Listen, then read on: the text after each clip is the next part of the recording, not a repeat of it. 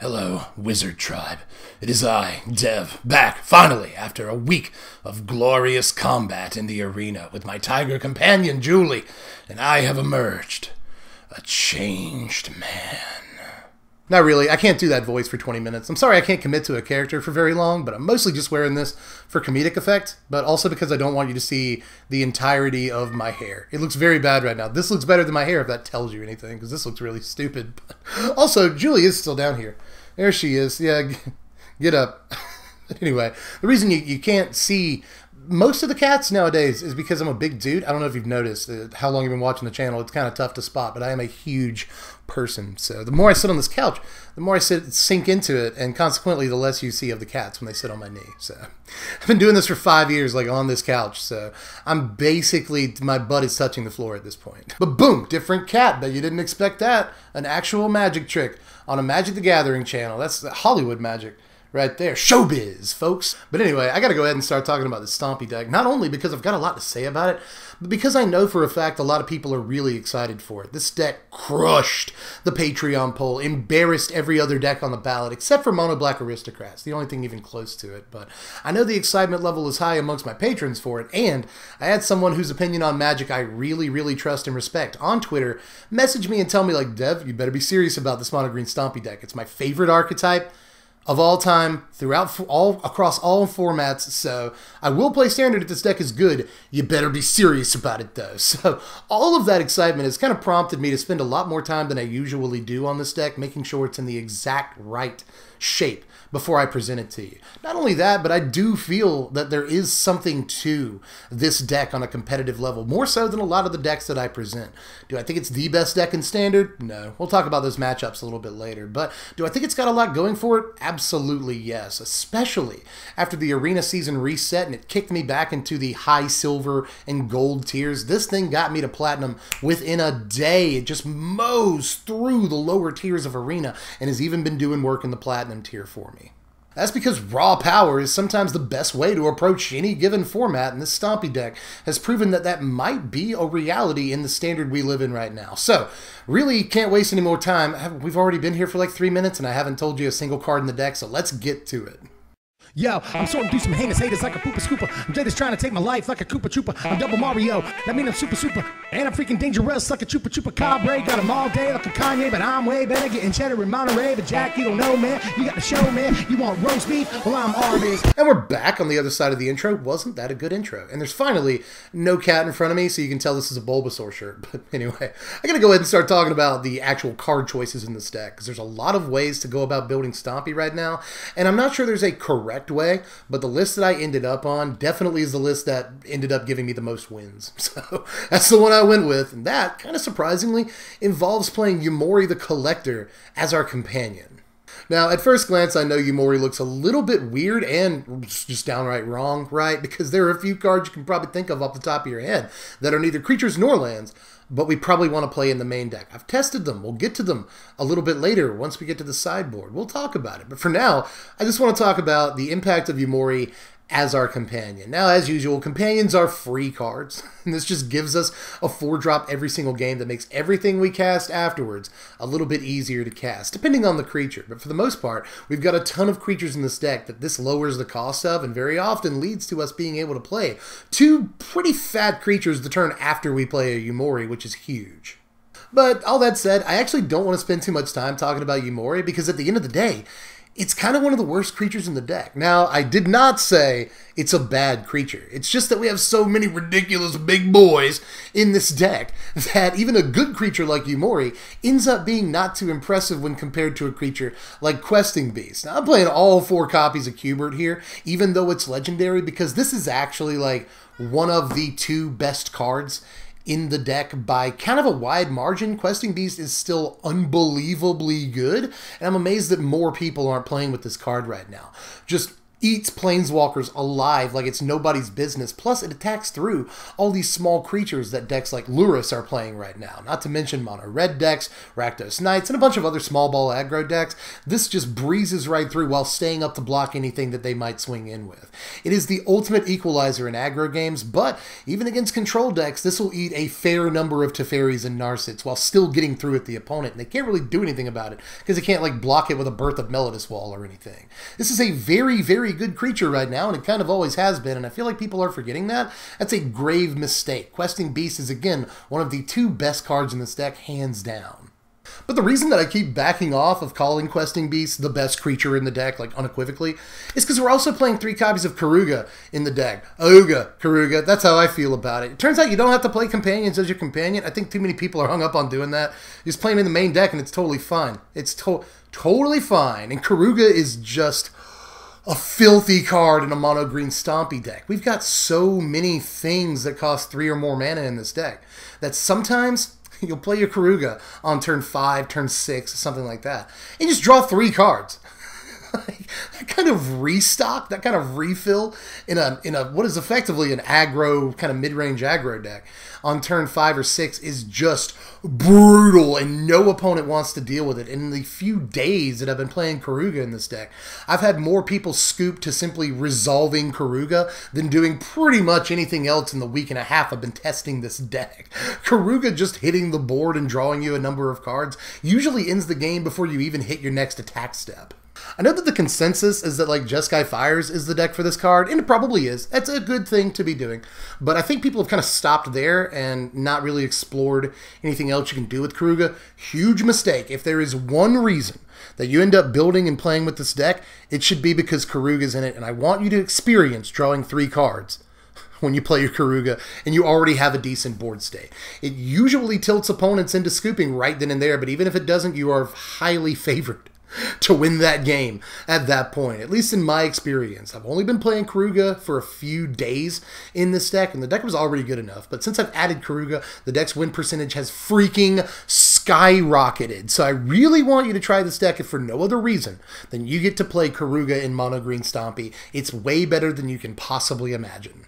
Oh, by the way, one more thing. This actually works kind of nicely when you already have a Umori on the battlefield for a couple of reasons, right? Because before you play your Keruga, you have more efficient use of your mana thanks to Umori. That allows you to play out, you know, multiple creatures in the same turn a lot more easily so that when you do play your Keruga, you draw more cards. Conversely, for that matter, once you do play your Keruga, you draw two, three cards. Umori allows you to have a little bit more mana to use to actually play the cards that you drew.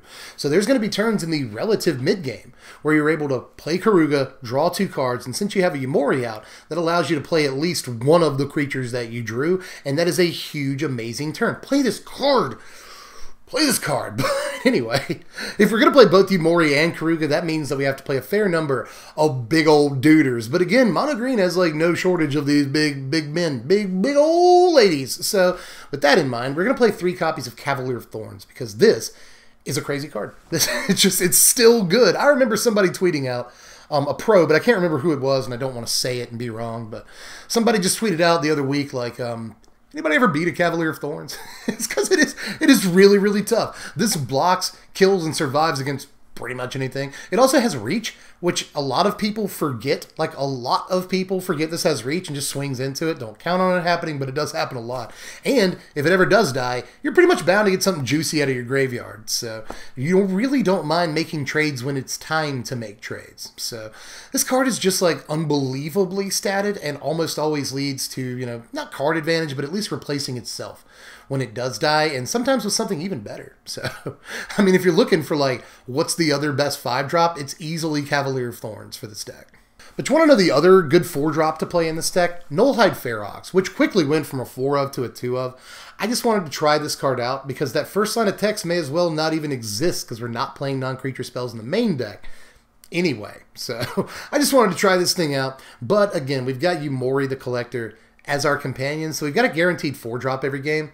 Turns out we didn't want all these four drops going up our hand and making our decisions difficult on turn three or four. So that said, I cut it down to two copies, but I'm still playing some because it turns out that a four mana six six Sword of Hexproof is still a ridiculous deal. It always has been. This is an amazing threat that attacks very well, but blocks well when you needed to do that too.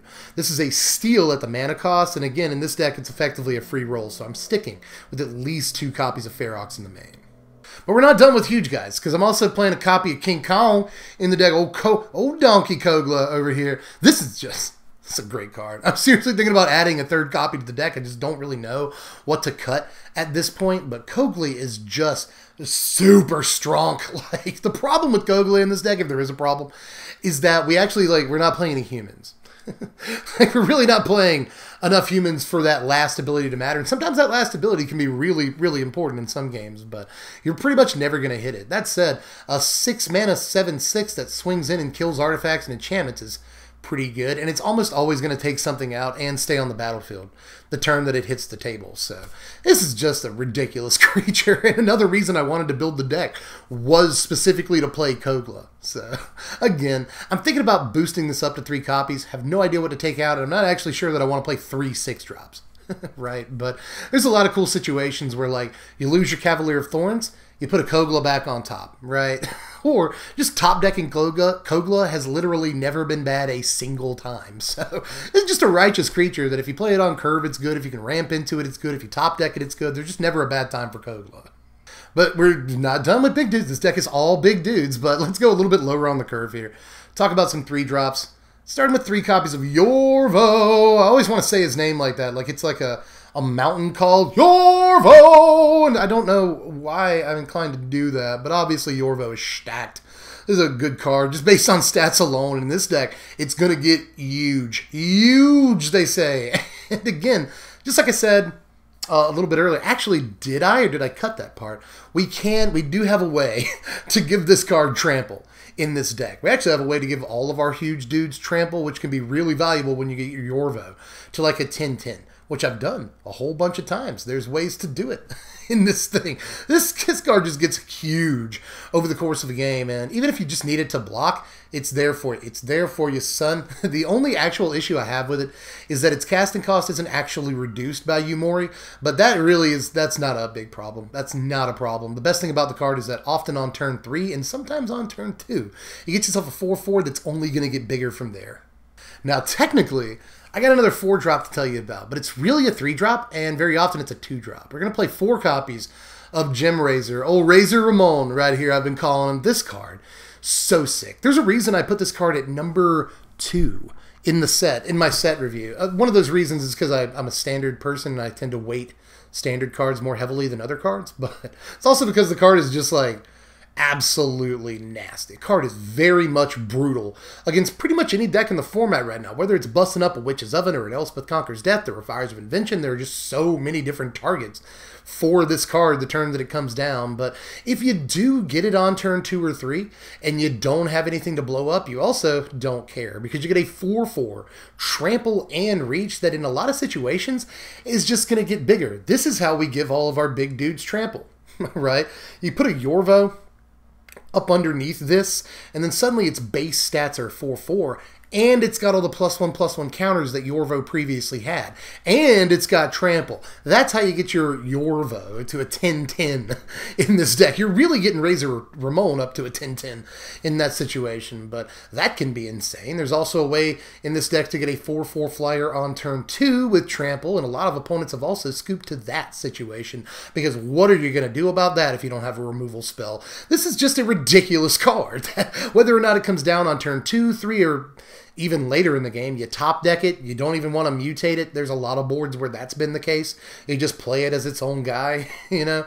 This is just an unbelievable card based on stats alone, especially for the mana cost, but it has so much to do in this format that it's often going to get you a righteous amount of value and a creature that your opponent can't immediately deal with. It effectively has haste if it mutates onto another big creature, so that can be insane. Sometimes blowing up a banishing light or a glass casket just forces scoops again because you get a big 4 4 guide plus whatever back that they glass casketed. There's just so many good things about Gemrazor in this format right now that I'm surprised it's only like a buck 50 and more people aren't talking about it. This card is good. That's all I got to say. but believe it or not, it looks like there's not really much room left for them. But we are playing one and two drops in this deck. I know it sounds sounds like we're gonna like we're gonna be a Yorion deck, right? Are we playing 80 in here? No, we, we've got it. We got a tight 60 put together, uh, but we still get to play two and one drops. So as far as the two drops go, we're gonna play four copies of Barkhide Troll and four copies of Paradise Druid here. Now, Paradise Druid, amazing. This allows us to get to a Umori on turn three, a Questing Beast on turn three, which is often a very good play, especially if we win first. A lot of people will scoop to that, just a third turn questing beast before they've even played their third land. It's really, really tough to deal with. But obviously, Pelt or Pelt Collector, we'll get to that in a second. But Paradise Druid just ramps us into all of our big things, and there's a ton of big things in the deck, so this is an invaluable card. Plus, if we get like Paradise Druid on turn two, play a land on turn three, we can just mutate a Gem Razor onto our Paradise Druid, and suddenly we got a 4 4 reach trample hexproof, and that's a pretty good card too, right? So just Paradise Druid does everything in this deck. But Barkhide Troll, I kind of have the the complaint I have with Yorvo to where like the casting cost of this card isn't actually reduced by Umori, and that's kind of feel bad, but everything else that it does is really good. You can mutate a Gem Razor onto this and effectively give it a form of hexproof. Plus, again, Barkhide Troll gets plus one plus one counters. So that Gem Razor is going to be huge when you actually mutate it onto a troll. So that's something else really, really nice about troll in this deck. But it's just a good creature. Just on turn two, you get a 3-3, and that is way bigger than a lot of like aggro decks can handle. And it's a decent threat to attack, you know, get the game started with some pressure. So I just really like Barkhide Troll an awful lot, and it's a great two drop for the deck. But in terms of one drops, we're also playing four copies of Gilded Goose and three copies of Pelt Collector. Now, I had to come down on one card, and conventional wisdom states that you take out the worst card in the deck if you're looking to cut a card. It's either Barkhide Troll or Pelt Collector. I'm not actually sure. I ended up cutting the copy of Pelt Collector because I feel like it's more important to get a two drop like Barkhide Troll than it is to get a one drop like Pelt Collector. So take that as you will. If you had to cut any more cards uh, to fit any more things in, I'd probably take out one copy of Troll, but we can't mess up the early curve too much. We want to play a one drop, we want to play a two drop, and I didn't want to mess with that. But in the end of the at the end of the day, I ended up with three Pelt Collector here because it really wasn't too much skin off our back to shave one Pelt Collector. It doesn't hurt too much much. However, when we do get Pelt Collector as our one drop, we can go Barkhide Troll or Paradise Druid, grow it on turn through two. Turn three, play a Yorvo or four drop from our Paradise Druid, grow it some more. Grows all the way to like 7 7 some of the time because Kogla's in the deck. Very often, as a matter of fact, there's a play where you play a Kogla with a Pelt Collector on the table, you kill something, well, actually, let me back up. Kogla comes into play. Pelt Collector gets plus one, plus one counter. Kogla fights and kills something, but also dies, and then Pelt Collector grows again because Kogla died. That's a play that actually happens a fair amount of the time, depending on what Kogla fights, and that can be important to remember too. A little bit of tech for you, but that said, Pelt Collector is not the most important thing in the deck. It is important, though, to remember that, again, this is yet another creature that gets plus one, plus one counters. So if you mutate a Gem Razor onto it, it can get real big or real quick, and it gets trampled once it gets a certain number of counters. Look out for that, too. That can be very important. But Anyway, moving on from Pelt Collector, I have a lot to say about it for a card that's apparently the worst card in the deck, but Gilded Goose I just could not cut a copy of. You want all four copies of this. It's great to be able to Gilded Goose turn one and then Gem Razor turn two. It does end up in a tapped Gem Razor for a turn, but who gives a crap at all? Who cares whatsoever? Just sweet to have a 4-4 flying trample on turn two, son. So that's a pretty good play right there, but again, this ramps us into pretty much anything. This will ramp us into a turn two Yorvo very nice play. This will ramp us into, let's say, if we go Gilded Goose turn one, Paradise Druid turn four, we get a five drop on turn three, which can be unbelievable. Playing a Cavalier of Thorns on turn three is something a lot of decks aren't prepared for. So this isn't a ramp deck, not quite, but we do need a little bit of ramp because all of our best creatures are relatively high up on the curve. We want to get to them before our opponent is prepared for them. Now, here are your lands. Fairly simple, right? I shouldn't even have to explain this. Just play all four copies of Castle Garenbrig, though. Just do that. You'd be surprised how often that, that extra one mana is like all you need to just completely decimate your opponent. this deck really needs its mana because it's looking to play a huge creature on pretty much every turn. So don't discount how good Castle Garenbrig is. You don't got them, you don't have to play them, but it's actually In terms of mana production, maybe one of the best cards in the entire deck. It helps more than you might think. But let's take a look at the sideboard real quick, and this is where I get to talk about non-creature stuff, because in case you're a little iffy on the rules of this, if you play a companion, then your main deck has to fulfill that companion's restrictions, but your sideboard is not restricted to those same restrictions. Now, here's the deal. If you side out Umori in, in games 2 and 3, you can side in any of these cards like Shadow Spear or Vivien or the Great Hinge, it's totally fine. If you keep Umori as your companion for game 2 or 3, you cannot side in any of these cards. But if you're looking for a little bit of card advantage, things like Vivien, the Great Hinge, and Nylea can all be great side ins. Originally, I was playing Vivien and the Great Hinge in the main deck here. But especially once I decided that Keruga was a card I wanted to play, it was a lot easier to put these cards into the sideboard. Again, it's nice to have a beat stick like Keruga that also draws cards. Cards like the Great Hinge soak up our mana on a card that is not a threat. Yes, it keeps us in the game a little bit longer, but that's not something Stompy's usually interested in. Stompy is interested in closing the game, and by the time you're actually able to play a Great Hinge, you usually don't need the extra mana so much. So two thirds of what the card does actually aren't that important in a lot of games for Stompy. But if you do find a game where you're either going to be low on your life total or you need to draw more cards than usual because you know the game is going to go longer than you want it to, a card like the Great Hinge can be great because it doesn't feel like taking a turn off to not play a creature. Same is true of Vivien. Now, Vivien does make a creature the turn that she comes down, but mostly we want this as kind of a green experimental frenzy for creatures, and it does function pretty well in that role, but again, I wanted to play Umori as a companion and have a free card on turn 4 that reduces the cost cost of our big guys more than I wanted Vivien, which does feel a little bit clunky in the five drop slot. But again, you want a more card advantage, Vivien is where to go. So in slogs, sort of mid-range mirrors or against decks like fires for instance where card advantage is very very important. You're in a race for cards against that deck. Vivien can be a very important card to play. But also keep in mind that a five drop that doesn't actually put much power on the board compared to our other five drops isn't necessarily where we want to be in game one when speed is our number one priority. Now as far as the only other non-creature card in the sideboard of the entire 75 it's shadow spear. This can be yet another way to give our creatures trample which can be surprisingly incredibly incredibly important, just so you know.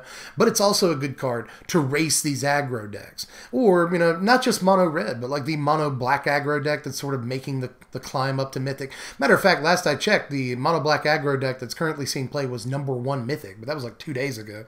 But if you run up against that deck, which plays Shadow Spear, mind you, Shadow Spear can be a great, you know, thing to have to sort of match up against their rotting Regisaurs and whatnot. So I really like Shadow Spear to help win races, but we really don't need too much help against aggro to begin with.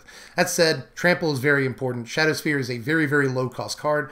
I like it a lot. But as far as the creatures in the sideboard here, we've got Nylea, again, aforementioned, mostly for card advantage. Uh, but it can be a big creature too. Shifting Ceratops against the blue decks. Now, I was playing Destiny Spinner as well. Destiny Spinner did not really impress me that much, and I didn't really play against much Flash um, in the week that I've been testing this deck, which is insane. If you go first, Destiny Spinner can be a great card against Flash, um, I would imagine.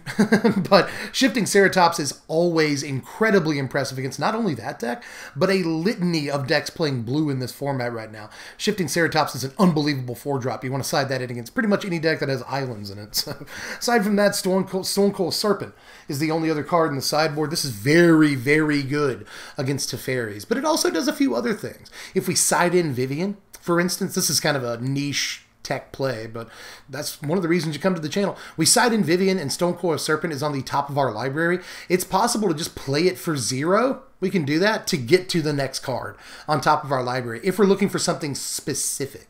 So that's one thing. There's a cool, a few cool things you can do with the Stonecoil Serpent in this deck, but mostly it's good against things like Deafening Clarion and Teferi, so it's a decent card against the Fires decks. But here are your power rankings. Final score of 68. That is a very, very high score. And It's because the deck is raw on power, very high on speed, especially in games where you get to go first, can really make the difference in any game of Magic with any deck that you're playing. But this deck is very hungry to go first. Doesn't mean that it auto loses when it goes second, but still, this deck really wants to go first. And when it does, it can be blindingly, deceptively fast if it gets the correct start. So keep that in mind. As far as synergy, we get a little bit of points because we have some deck building restrictions we have to fulfill for Umori, right? But it's really not that high in the synergy department. In terms of resiliency, it's not great, but Keruga can be a very resilient piece. Plus, we have Cavalier Thorns in in there to get cards back when it dies, you know, cards that replace themselves. Um, Kogla can be a great top deck to get that thing off the board and have a huge creature. You know, that's resiliency in a way because it swings the game in your favor. Same thing's true of Gem Razor. You know, there are going to be boards where the game looks bleak. The game looks bleak for you. You draw a Gem Razor, you're able to kill that Fires of Invention or that Banishing Light or whatever. Get your thing back if it was Banishing Light. You have a 4-4 trample on the battlefield, and that just really swings the pendulum of advantage into your favor quickly. So that counts as resiliency, but at the same time, we don't have all the ways in the world of drawing cards game one. So we're not that resilient. We don't have really any ways of getting stuff back from the graveyard. That's not really resilient either. But there's plenty of big splashy plays that can swing the game in our favor. So we do have some resiliency. Apart from that, the offense is very high, but the defense is very low. Outside of Kogla, all we're really looking to do to neutralize our opponent's creatures is play bigger creatures. And there are a ton of creatures in this format that don't really care about attacking, like Priest of Forgotten Gods or Mayhem Devil. Those will, in some cases, never attack. They'll just kill us from their side of the table without having to swing in. So we need a little bit more removal at some times in this deck. But for the most part, we're just looking to run the opponent over with our creatures, so we're not as concerned with defense. A good offense is the best defense in this deck's case. But I said before the end of the video that I'd get into some of the matchups. So what I did was, the last day that I uh, play tested this deck, I wrote down um, all the games that I played and what we won and lost. Now, we uh, we have 15 games all recorded right here. And the thing is, we ended up that day with a 66% win percentage. Now, I'm not going to lie to you, this is where a lot of YouTubers, a lot, a depressing number of YouTubers, would put that in the title and the thumbnail 66% win rate, get to mythic, easy peasy, or whatever. Um, I'm going to be honest with you. I think that some of these games that we won are not actually great matchups, to be honest with you. Uh, but I'm still going to run through all the things that we won and lost. We beat the Jeskai Lurrus cycling deck, but I think that that is a, a fairly bad matchup, if I'm being 100% honest with you. We beat that deck because it got stuck on three lands and couldn't Zenith Flare us, I think, is what happened there. But they did get stuck on lands. I don't think that the cycling deck is a very good matchup for this deck. We beat Azorius Flyers, we beat Red Black Knights, we beat Mono Red three times, which is actually pretty typical. Uh, almost any small aggro deck is a very, very good matchup for this deck because we outclass all of their creatures really, really quickly and traditionally throughout the years.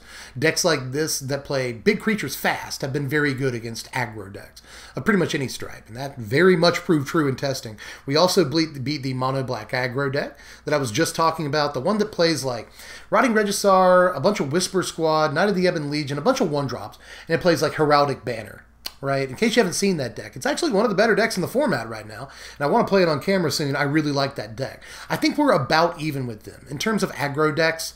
I think that's probably the best one against us, but I still think we evenly win that match.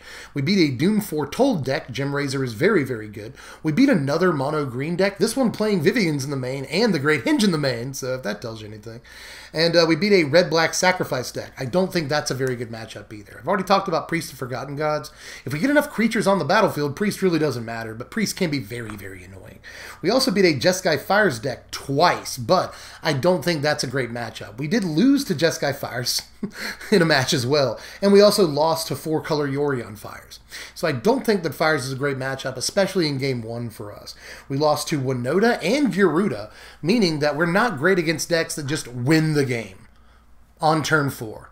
you know, decks that have an I win button, um, first of all, are falling out of favor. Winota and Gyruda are decks I don't play against as often as I did at the beginning of the season. They don't place as often in the standings as they did at the beginning of the season, especially Gyruda, which is really on its way out. But decks that do play that, like turn four, I win if you can't do anything about it, we're technically pretty bad against those decks in a lot of cases, especially if we don't go first.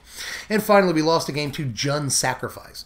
Uh, funny that we picked up one against Red Black um, and lost one to Jund, and I think we're probably better against Jund, to be honest, because Jund usually has a, a harder time uh, getting its mana, assembling its pieces, and it has more pieces to assemble than the Red Black Sacrifice deck. You know, it has to take turns off playing thing like things like um, Gilded Goose into Trail of Crumbs and usually we're they're dead if they if they take the turns off doing that. But we did end up losing a game to uh, to Jund Sack, but winning one against Red Black Sack.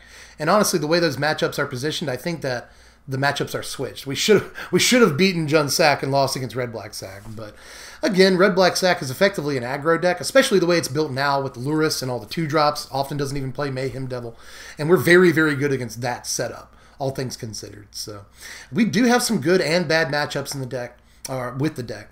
Um, fires, especially the Yorion Fires deck, the Keruga Fires deck, both of those I think may be the best decks in the format. Uh, Bant Yorion, another one of the best decks in the format that we amazingly did not play against, that I think we probably have a bad matchup against. So all these kind of mid-ranger control decks like Fires, and uh, Yorion. I feel like our matchups aren't great against, but that said, if it's like small ball aggro you're having a problem with, or other sort of fair mid range decks in the format, I think you've got a really, really good shot with this deck.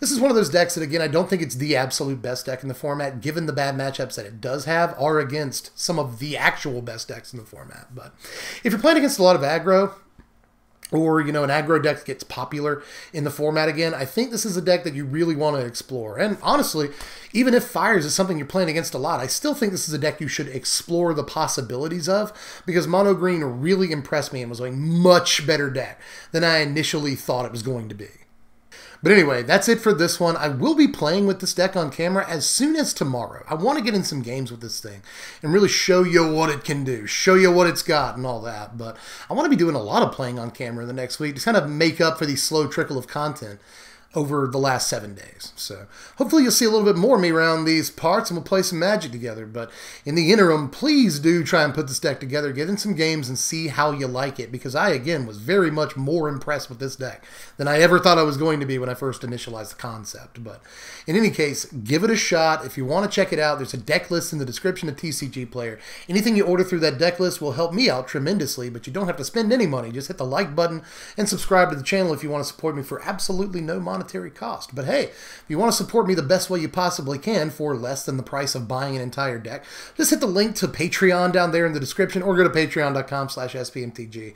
Dollar a month is all it takes to vote on what content we even do around here so you get to control a YouTuber that you quite like. That, imagine the power. So click the link in the description, go to Patreon, help you dude out. Even if you can't, I'm just happy that you're here.